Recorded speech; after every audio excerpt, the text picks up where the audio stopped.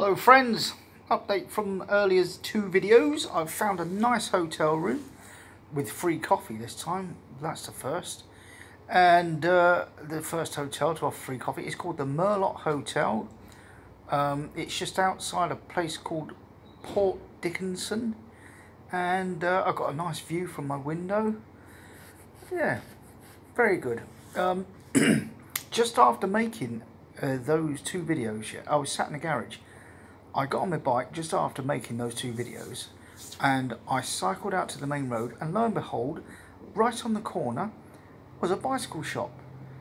So I asked, you know, do you do you sell cycling shorts because of my bum problems, the pain with cycling?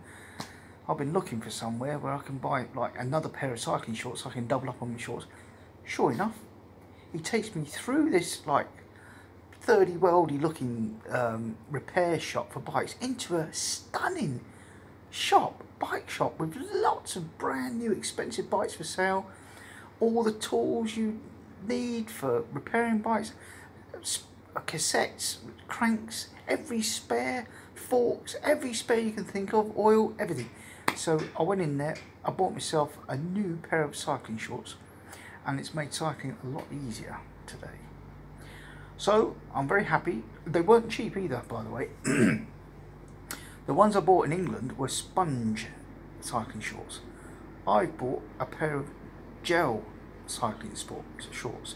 They're, they're, you know, there'd probably be a few more bob in England, but uh, it cost me enough here, and I'm, I'm very pleased to say, it cut down on the pain. There's a few seams that uh, still hurt, but I think that's because I had the old sponge ones on first with the new gel ones over the top. Tomorrow I'm going to try them with the gel ones on first and the sponge ones over the top. That could get rid of the seam problem, but yeah, I've I've been able to I've stayed in the saddle a lot saddle a lot longer today than uh, I have on subsequent days. That's it basically. Um, do you want to see the room? There you go curtains drawn. I've got AC. I've got a TV. I've got a nice, nice bed. Big bed all to myself. Got uh, my, my drinks there and uh, my charger right here. Like I say, in Malaysia, the rooms are a little bit smaller than uh, Thailand. They're purpose built to get more people in, I suppose, but then they're cheaper. Uh, here's the bathroom. Nice bathroom. Haven't got a noodle shower, but I've got a good shower hand wash basin, toilet, so everything you could possibly want. And uh, that's it. So I'm going to get a good night's sleep tonight and uh, I'm off to Malacca tomorrow. Tomorrow being, quickly before I get it wrong, I haven't had a drink for oh, since I entered Malaysia so my mind's getting a bit clearer now.